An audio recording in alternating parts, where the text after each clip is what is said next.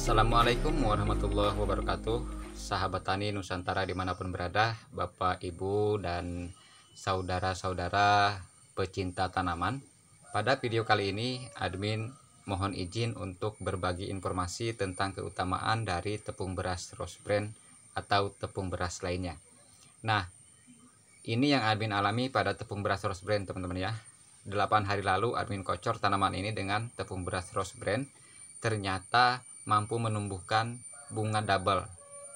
Karena sebelumnya admin tidak kocor dengan tepung rose brand seperti pada tanaman yang ini. Ini di lahan yang sama, tapi ini waktu admin pindah tanam itu langsung muncul bakal bunga dan bunganya cuma satu teman-teman ya. Nah setelah 8 hari lalu admin kocor menggunakan tepung beras rose brand ini ada lagi bakal bunga lagi di sampingnya teman-teman ya.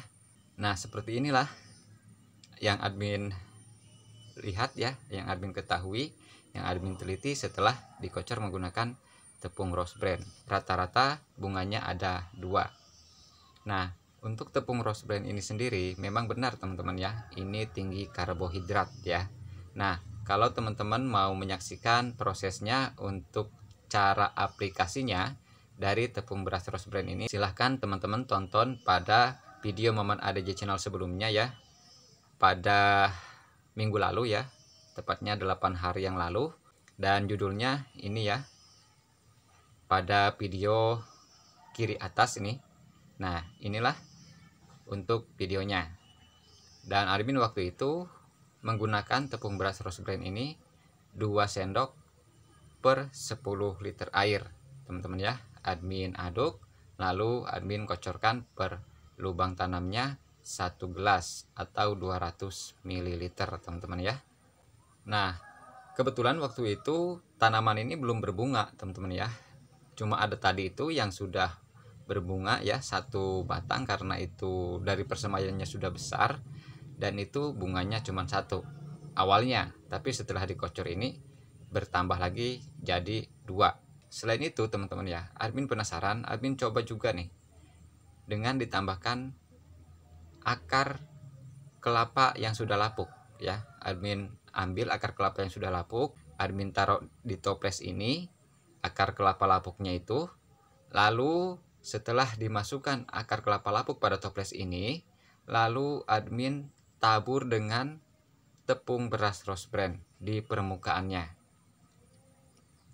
Nah ini adalah tepung beras rose brand di dalam toples ini yang dicampur dengan akar kelapa lapuk ini berusia tiga hari tiga malam.